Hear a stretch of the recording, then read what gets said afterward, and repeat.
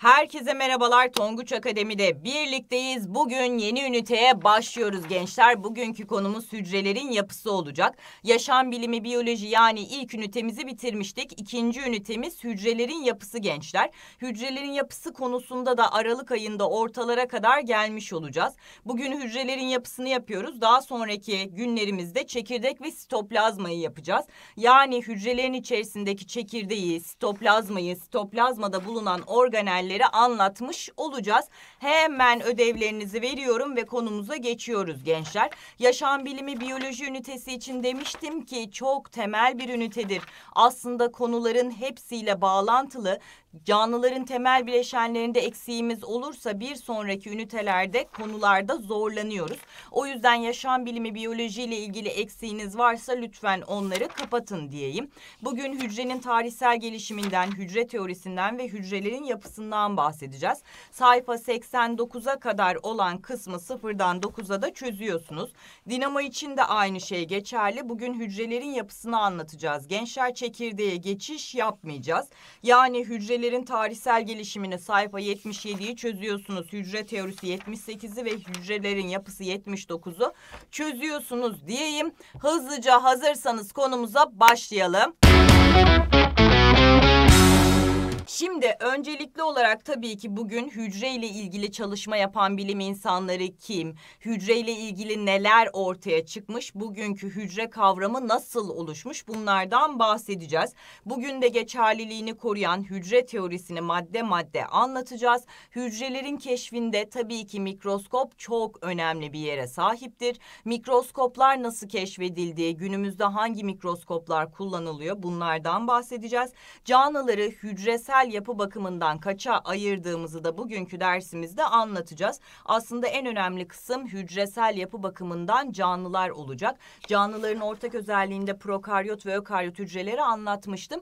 Bu ünitemizde tekrar karşımıza çıkacaklar. Şimdi öncelikli olarak tabii ki hücre kavramıyla başlayalım. Hücreye baktığımız zaman nasıl gösteriyoruz? Genelde bir yuvarlak çiziyoruz. Ortasında da bir çekirdek vardır diye gösteriyoruz. Tabii ki çekirdek ökaryotlarda bulunur ökaryot hücre yapısına sahip canlılarda bu şekilde bir hücre bulunabilir. Hücre için diyoruz ki temel yapısal canlının işlevsel en küçük birimidir. Aslında hücrenin içerisinde hücreden daha küçük organeller var. Bu organeller neden canlının en küçük birimi değil de hücre en küçük birimi, temel birimidir diyoruz. Çünkü organeller tek başına canlılık faaliyeti gösteremiyorlar. Canlılık faaliyetini sürdürebilen en küçük birimimiz hücreler. Tabii ki hücrelerin ve organellerin gözlemlenebilmesi mikroskopların geliştirilmesi sayesinde mümkün olmuş durumda. Mesela alüvar hücrelerimiz var, sinir hücrelerimiz var, epitel hücrelerimiz var, sperm hücresi, savunma sistemi hücresi. Şekillere baktığınız zaman aslında biz bir yuvarlak ortasında bir çekirdek diye gösteriyoruz ama hücreler birbirlerinden çok farklı şekillere sahip olabiliyorlar. Mikroskoplardan da biraz bahsedelim. Mikroskoplar tabii ki çıplak gözle göremediğimiz küçük cisimleri optik veya manyetik bir seri mercek sistemi yardımıyla büyüterek bu cisimlerin incelenmesini sağlayan aletlerdir. Biyoloji biliminde de tabii ki mikroskoplar çok önemli bir yere sahip. Mikroskopun icadı ve gösterdiği gelişim biyoloji biliminde devrim niteliğinde buluşlara yol açmış durumda. Birçok yeni bilim dalının da tabii ki ortaya çıkmasını sağlamış durumda. En gelişmemiş çok eski yıllarda bulunmuş mikroskoplardan günümüzde kullanılan mikroskoplara gelinceye kadar tabii ki aralarda bir sürü mikroskopun icadı da söz söz konusu oluyor. Biz hemen mikroskobun icadıyla bağlantılı hücrenin keşif sürecinden bahsedelim. 16. yüzyılda ilk defa mikroskop icat ediliyor. Aslında tesadüfi bir olaya da dayanıyor. İlk olarak teleskopların icadı söz konusu. Teleskoplarının camını temizleyen, merceğini temizleyen bir bilim insanı merceği çevirdiği zaman aa uzaktaki cisimleri yani büyük cisimleri küçülten teleskopun ters çevrilince küçük cisimleri de büyütebildiğini gözlemliyor. İlk kez mikroskopun keşfi aslında bu şekilde gerçekleşiyor. Yani önce teleskoplar keşfediliyor sonra mikroskoplar keşfediliyor. 16. yüzyılda Zakaras Janssen adını verdiğimiz bilim insanı iç bükey ve dış bükey mercekler kullanarak 9 kat büyütme gücüne sahip mikroskobu icat etmiş durumda.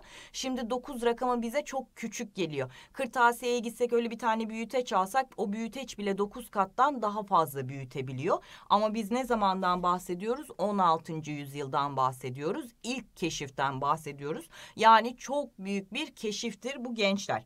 Daha sonra Marcello Malpighi 1664 yılında mikroskop ile kılcal damarlarda kan akışını inceliyor. Bizim atar damarlarımız, toplar damarlarımız bunları birbirine bağlayan kılcal damarlarımız var. Adam mikroskop kullanarak kılcal damarlarda kan akışını gözlemleyebilmiş. Aslında bilimsel anlamda ilk kez kullanılmış mikroskop dediğimiz aletler. 17. yüzyılın ortalarında da Robert Hooke bu bilim insanı karşınıza sorularda çıkacak gençler.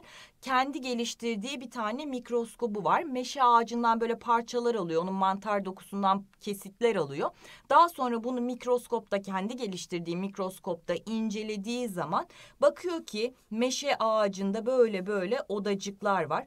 Diyor ki meşe ağacı canlılar boş içi boş odalardan meydana gelir. Tabii ki onun geliştirdiği mikroskopta o dönemin şartlarıyla mercekler günümüzdeki gibi gelişmiş değil. Hücrelerin içini göremiyor. Sadece hücrelerin olduğunu görüyor ve bunlara odacık anlamına gelen selüla kelimesini kullanarak isimlendirme yapıyor. Günümüzde o içi boş dediği odacıklarda aslında metabolik faaliyetlerin gerçekleştiğini, bir sürü yapının olduğunu biliyoruz. Yani 1665 yılından itibaren Robert Hooke tarafından yapılan bu çalışma sonucunda hücre dediğimiz kavram kullanılmaya başlanmıştır. 17. yüzyılın böyle sonlarına geldiğimiz zaman da Anthony van Leeuwenhoek bir mikroskop geliştiriyor. Aslında bu adam kumaş tüccarı. Kumaşların kalitesini incelemek için kendisi bir tane mikroskop geliştiriyor. Sonra kumaşları incelerken etrafı da incelemeye başlıyor. Böyle havuz suyunu inceliyor. Havuz suyunun içerisinde hareket eden canlılar olduğunu görüyor. Tabii o zamanlar bakteriler, mikroorganizmalar bilinmiyor ya.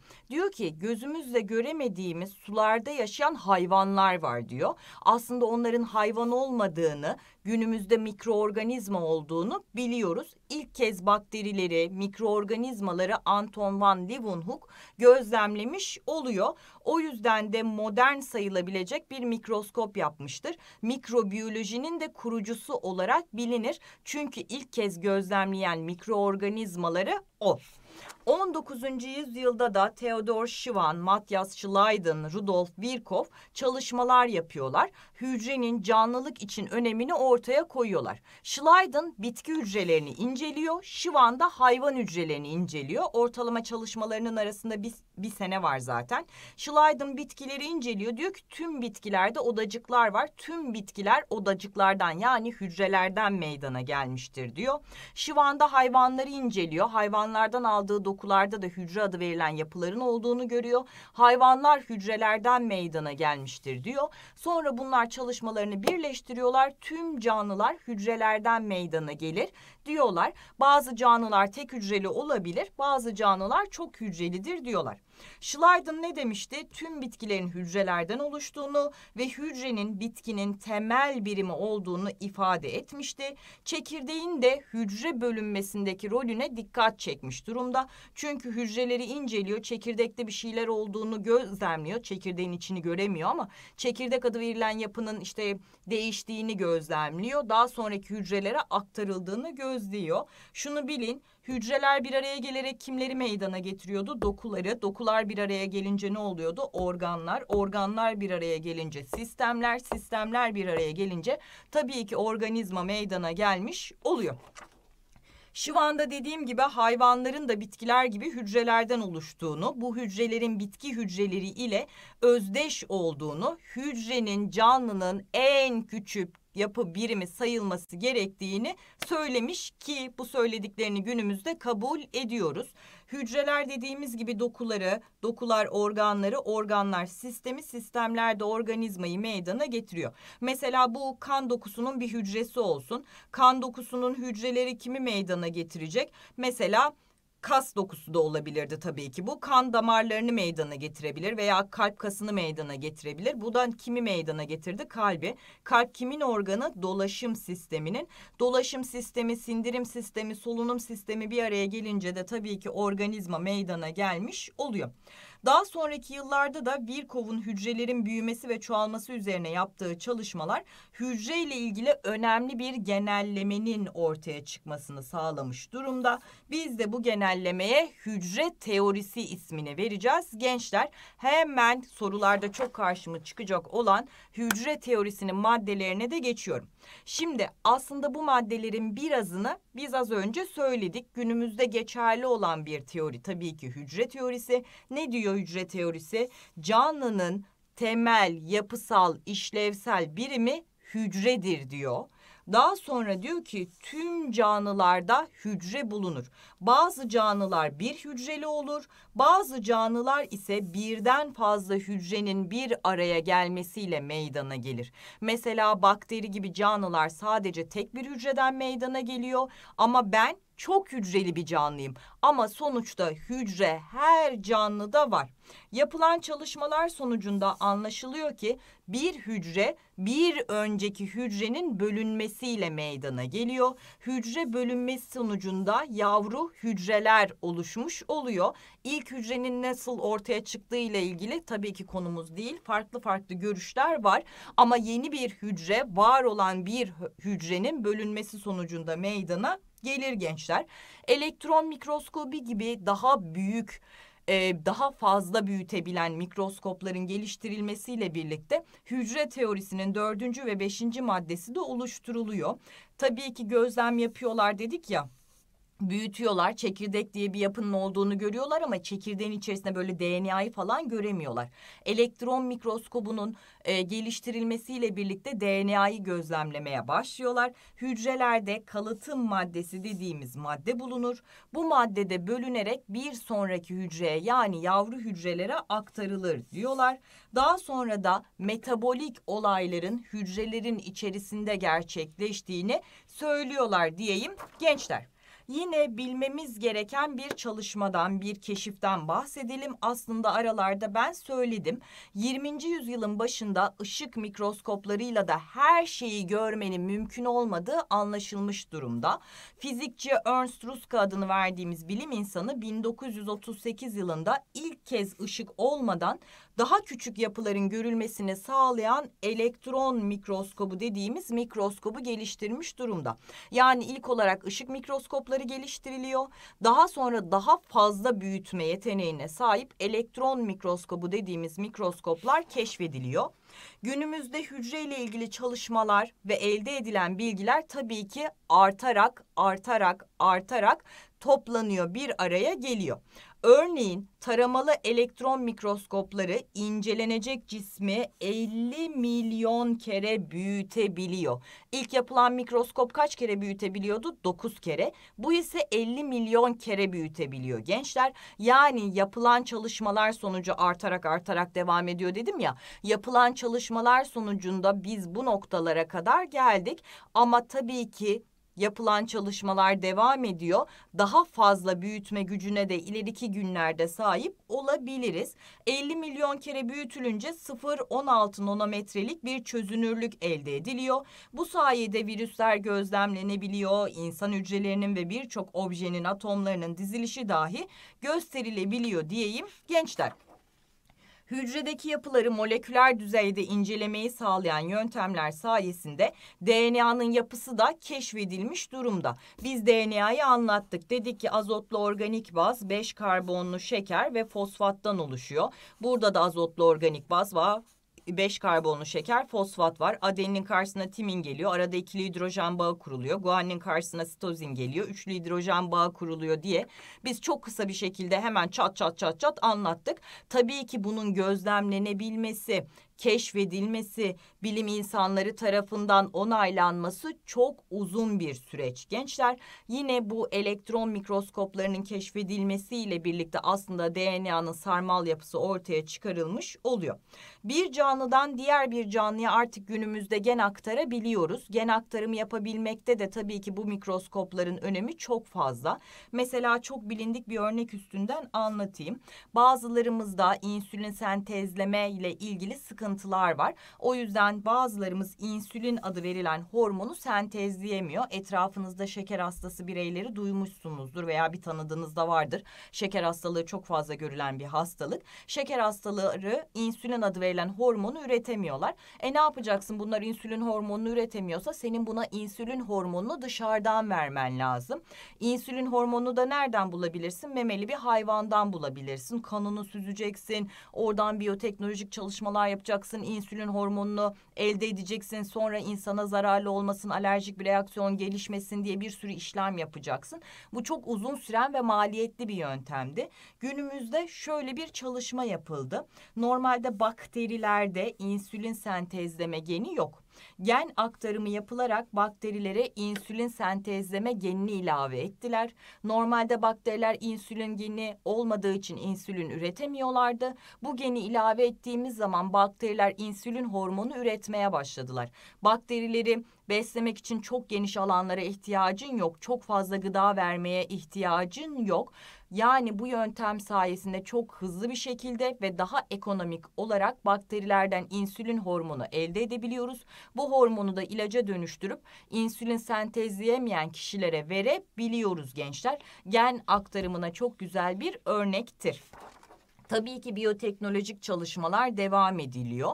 2000'li yıllarda bir koyun kopyalanması söz konusu oldu. İlk kopyalanan koyunumuzun adı neydi? Dolly ismini verdiğimiz koyun kopyalanmıştı. Daha sonraki yıllarda tabii ki İstanbul Üniversitesi de birkaç tane canlıyı kopyalayabildi. Kedi, fare, köpek gibi birçok memeli hayvanın kopyalanması sağlandı. Tüm bu gelişmelere rağmen hücresel yapılar ve süreçlerle ilgili yanıtlanmayı bekleyen tabii ki daha pek çok soru var. Bilim insanları da tabii ki bu konularla ilgili çalışmalar yapmaya devam ediyorlar diyeyim. Biz asıl konumuza sorularda çok çok çok çok çok çok fazla karşımıza çıkacak kısma geçelim. Canlıları hücresel yapı bakımından ikiye ayırabiliyoruz. Hücre yapısına bakarak canlılar ya prokaryot hücre yapısına sahip oluyorlar ya da ökaryot hücre yapısına sahip oluyorlar. Birazdan söyleyeceğim ama aslında şurada da ben size vermiş olayım gençler. Şimdi prokaryotla ökaryotun farkı ne? Şuraya bir tane prokaryot hücre,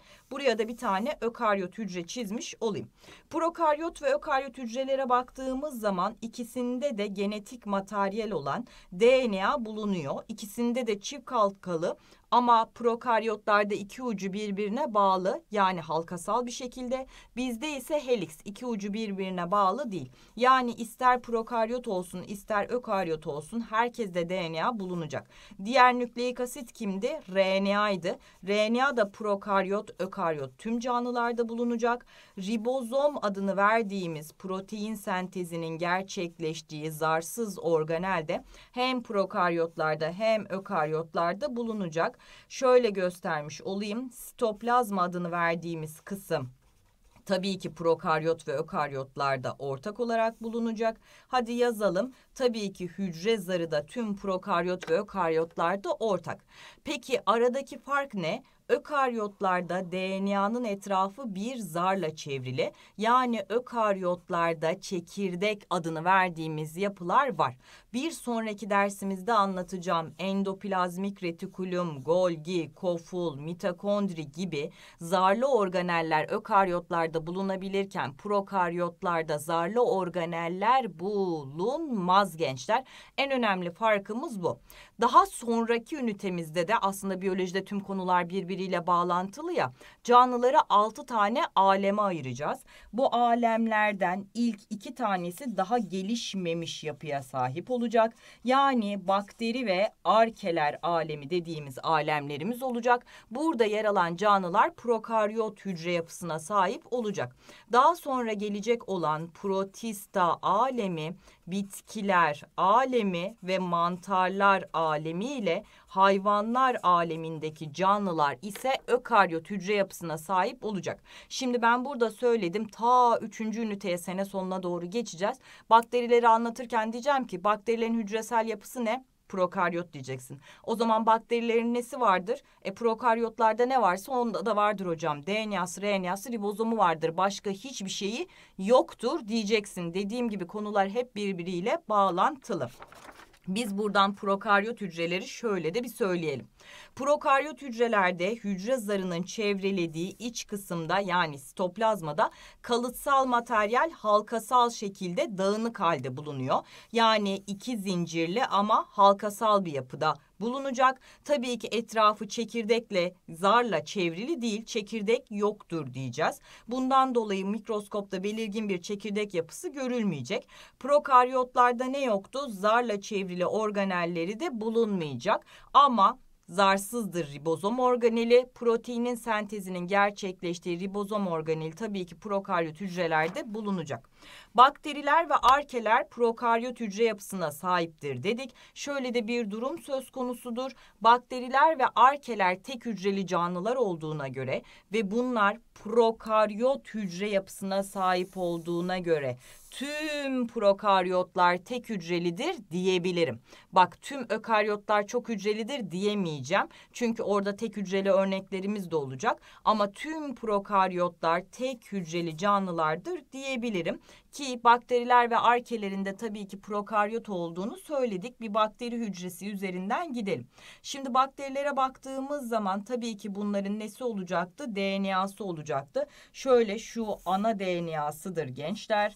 DNA'sı halkasal yapıdadır dediğimiz gibi. Bunlarda küçük DNA parçaları da bulunabiliyor. Plazmit ismini veriyoruz. Tabii ki ribozom organelleri bulunacak. Aynı zamanda bunların RNA'sı da yer alacak. Bakteriler aleminin depo karbonhidratı ta karbonhidratlarda anlatmıştık. Glikojendi. Bakterilerin hücre duvarı bulunabiliyor. Bazı bakterilerde hücre duvarının haricinde etrafını saran bir kapsülü de bulunabiliyor. Bazı bakterilerimiz aktif olarak yer değiştirebilir. Yer değiştirenlerde kamçı bulunur. Aynı zamanda bunların birbirlerine tutunmalarını veya bulundukları ortama tutunmalarını sağlayan uzantıları da olabiliyor. Bu uzantılara da pillus ismini vereceğiz gençler ökaryot hücreleri de geçmiş olayım.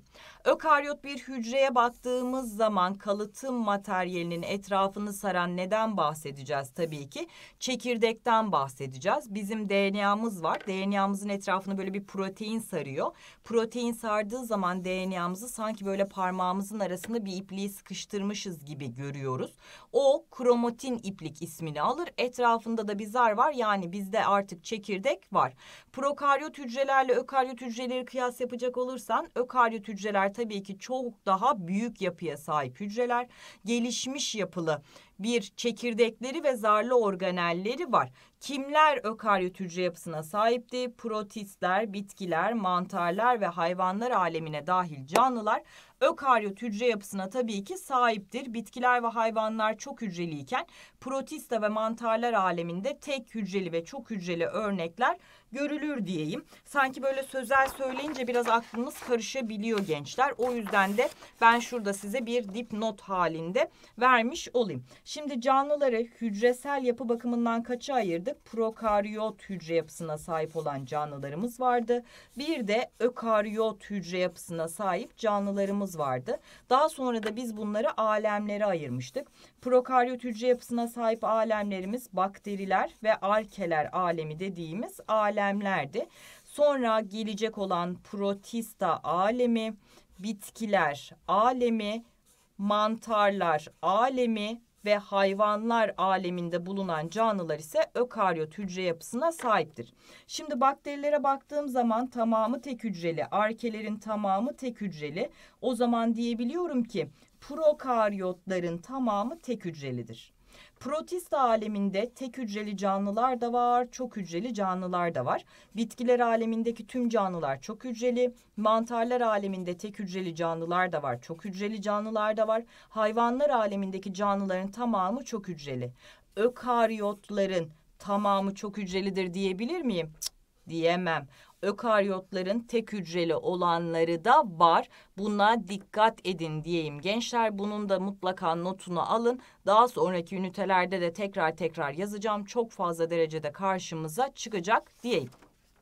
Çok hücreli olan ökaryot canlılarda yapı ve görev bakımından benzer hücreler tabii ki bir araya gelecek dokuları, dokular organları, organlar da tabii ki sistemleri meydana getirmiş olacak. Bitkiler ve hayvanlar dedik ki çok hücreli canlılardır. Bitki ve hayvan hücresini de kendi içerisinde kıyas yapmış olalım. Şimdi bunların ikisi de ökaryot olduğuna göre ikisinde de çekirdek adını verdiğimiz yapılar bulunacak.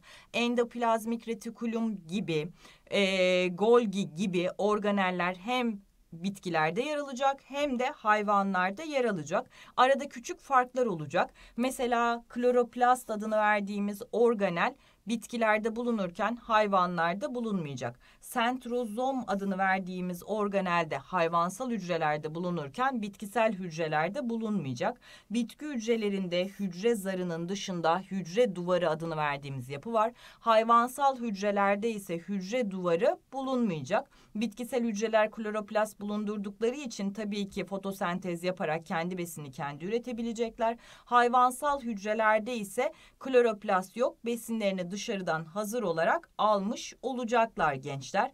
Veya bitkisel hücrelerde kofullar e, daha az sayıda ve büyüktür. Hayvansal hücrelerde ise kofullar daha küçük, daha çok sayıdadır diyebiliriz. Aradaki farkları, organelleri öğrendiğimizde daha kolay karşımıza çıkacak.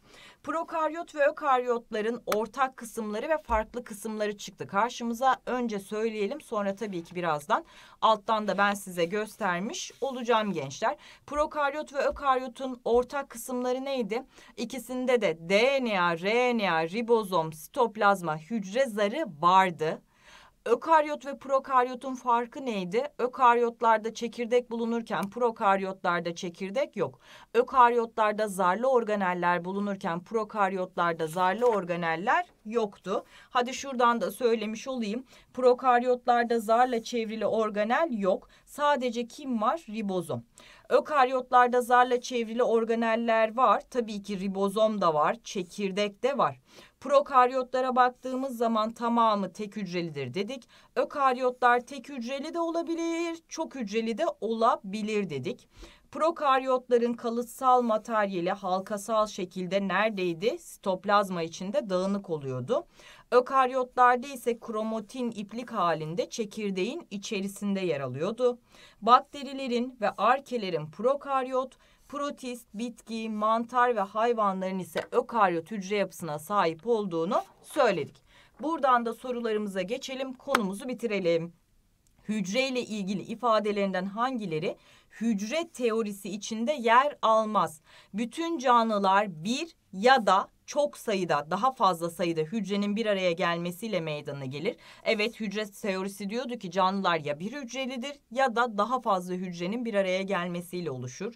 Bütün metabolik faaliyetler hücrelerde gerçekleşir diyordu hücre teorisi beşinci maddesiydi. Yeni hücrelerin var olan diğer hücrelerin bölünmesiyle meydana geldiğini de tabii ki hücre teorisi söylemişti. Hücreler bulundukları çevreden gelen uyartılara karşı tabii ki tepki verecekler ama bu hücre teorisi içerisinde yer almıyordu. Beş maddenin içerisinde böyle bir şeyden bahsetmemiştik. Uranyum camı, yağ damlacığı, sülfat, bazı boyalar, kinin gibi maddelerin ultraviyole ışınlara maruz kaldığında ışıklı hale geldiği gözlenmiş ve bundan yararlanarak floresan mikroskopları geliştirilmiştir. Bu mikroskopla ökaryot hücreler, bakteriler ve bazı proteinlerin moleküler yapıları floresans boyalarla boyanarak UV ışınlarıyla incelenebilmektedir. Buna göre çalışmalarından hangileri floresan mikroskobu ile yapılabilir? Floresan mikroskobunu bana anlatmış. Demiş ki özel boyanmalar yapılıyor. Bu özel boyanmalar sonucunda çalışma yapılınıyor birçok ökaryot hücrelerin, bakterilerin, bazı proteinlerin de bu çalışmalarda kullanılabilen, incelenebilen yapılar olduğunu söylemiş. O zaman ökaryot hücreleri inceleyebildiğime göre kanserli hücreleri de tabii ki boyayarak inceleyebilirim. Canlı doku ve hücrelerde mikroorganizmaların tespiti demiş. Bakterileri gözlemleyebildiğime göre tabii ki mikroorganizmaları da demek ki bu mikroskopla inceleyebilirim. Antikor ve antijen etkileşimi. Proteinlerin yapısını da görebildiğime göre vücuda giren zararlı bir maddeye karşı onu öldürmek için üretilen maddeleri, antijenleri, antikorları gözlemleyebilirim. Yani üçünün de çalışması floresan mikroskobu ile yapılabilir diyeyim. Hemen diğer bir soruma geçiyorum. Hücre yapılarının incelenmesinde etkili olan bazı mikroskop çeşitleri aşağıda verilmiş. Işık mikroskobu, floresan mikroskobu ve elektron mikroskobundan bahsetmiş. Elektron mikroskobu ışık mikroskobuna göre daha ayrıntılı görüntüleme sağlar. Tabii ki elektron mikroskobu ışık mikroskobuna göre daha ayrıntılı görüntüleme sağlayacak. Daha büyütebilme özelliğine sahipti. Elektron mikroskobunda çok kısa dalga boylu elektronlar kullanılır. Evet elektron mikroskobunda elektronlar kullanılıyordu. Boyanmış hücrelerin iç yapısı floresan mikroskobuyla detaylı olarak incelenebiliyordu. DNA ve kan proteinleri gibi moleküllerin yapılarının üç boyutlu incelenebilmesi tabii ki taramalı elektron mikroskobuyla ortaya çıkmış durumda. Işık mikroskopları ve elektron mikroskoplarında hem cam mercek hem de elektromanyetik mercekler kullanılmaktadır diyor. Işık mikroskoplarında elektromanyetik mercekler kullanılmıyor diyeyim. Buradan da diğer soruma geçiyorum. Bir canlının ökaryot ya da prokaryot hücre yapısına sahip olduğu özelliklerinden hangilerine bakılarak anlaşılamaz diyor. Bir kere koful zarlı bir organeldir. Besin kofulu bulundurduğuna göre bunun ökaryot olduğunu söyleyebilirim. Çok hücreli olduğuna göre tek hücreli ve çok hücreli ökaryotlarım var ama prokaryot olup çok hücreli olanım yok. Çok hücreli ise kesinlikle ökaryot hücre yapısına sahiptir diyebilirim. Oksijenli solunum yapması prokaryot da olabilir. Oksijenli solunum yapan bakteriler var. Ama ben de oksijenli solunum yapıyorum. O zaman buradan anlayamam. Sitoplazmasında klorofil bulundurması diyorsa kloroplast organeli yok demektir. O zaman bu kesinlikle prokaryot hücre yapısına sahiptir. Hangilerine bakılarak anlaşılamaz dediği için cevabımız tabii ki yalnız 3. Yani B seçeneği oldu. Diğer soruma da geçiyorum. Hücre çalışmaları yapan bilim insanlarıyla ilgili olarak açıklamalarından hangileri doğrudur diyor. Matthias Schleiden bitki hücrelerinin ortasında gözlemlediği yuvarlak yapıyı çekirdek anlamında nukleus olarak tanımlamıştır diyor. Evet Matthias Schleiden bitki hücrelerini incelemişti doğru. Anton van Leeuwenhoek geliştirdiği mikroskop ile böyle mikroorganizmaları keşfetmişti. Küçük hayvan demişti onlara hatta. O zaman bu da doğru. Robert Hooke incelediği şişe mantarı kesitinde gördüğü içi boş odacıklarına hücre anlamında sello demiştir. Evet bu da bizim için doğruydu. Robert Brown hücrenin keşfinde etkili olan ilk mikroskobu tabii ki geliştirmemişti. O yüzden bu bizim için yanlış. Hangileri doğrudur dediği için cevabımız 1, 2 ve 3 oldu. Buradan da hemen diğer bir soruma geçiyorum. Bir hücrede organel ve yapılarından hangilerinin bulunması hücrenin ökaryot olduğunu kanıtlar diyor. Bir kere ribozom hem prokaryotlarda var hem ökaryotlarda var. Ribozom olması ökaryot olduğunu göstermez. Çekirdek varsa yapıştırdım kesinlikle ökaryottur. Hücre zarı Prokaryotlarda da var, ökaryotlarda da var. Sitoplazmada prokaryotlarda da var, ökaryotlarda da var. Yani bu bir şeyi kanıtlamaz. Hangisi ökaryot olduğunu kanıtlar dediği için cevabımız yalnız 2 oldu.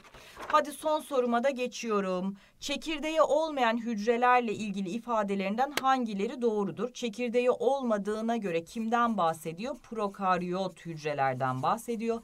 Yani aslında kimden bahsediyor? Bakterilerden ve arke dediğimiz canlılardan bahsediyor. Oksijenli solunum yapamazlar demiş. Hadi oradan bakterilerin oksijenli solunum yapanları var ki. Metabolik faaliyet tabii ki tüm canlılar metabolik faaliyet gösterdiğine göre prokaryotlar da metabolik faaliyet gösterecekler. Protein senteziyle ilgili bilgi ribozomlarındaki RNA'larında bulunur. Neden bulunsun ki bu adamların da DNA'sı var. Prokaryotların DNA'sı yoktur demedik. Hangileri doğrudur dediği için cevabımız yalnız iki oldu. Böylelikle konumuzun sonuna geldik. Burası çok önemli çünkü tüm anlattıklarımı özet şekilde vereceğim. Hücreyle ilgili çalışmalar yapan bazı bilim insanları hücre teorisi denilen teoriyi ortaya koymuştur. Hücre teorisi ne göre de hücresel yapı bakımından canlılar ikiye ayrılır. Ya prokaryot hücre yapısına sahip oluyorlar ya da ökaryot hücre yapısına sahip oluyorlar. Bakterilerin ve arkelerin prokaryot olduğunu, protistaların, bitkilerin, mantarların ve hayvanların ökaryot olduğunu söyledik. Ökaryot hücrelere baktığımız zaman tabii ki çekirdek vardı. Zarlı zarsız yapısına göre organelleri bulundurabiliyorlardı. Prokaryot hücrelerde çekirdek yok, zarlı organeller yok. Sadece ribozom bulunuyor. Prokaryotlarda genetik materyal de tabii ki sitoplazmada dağınık halde bulunuyor diyeyim gençler. Böylelikle dersin sonuna gelmiş olayım. Hemen ödüllü soruyu gösteriyorum. Videoyu beğenmeyi unutmayın. Ödüllü soruya cevaplarınızı aşağıya bekliyorum.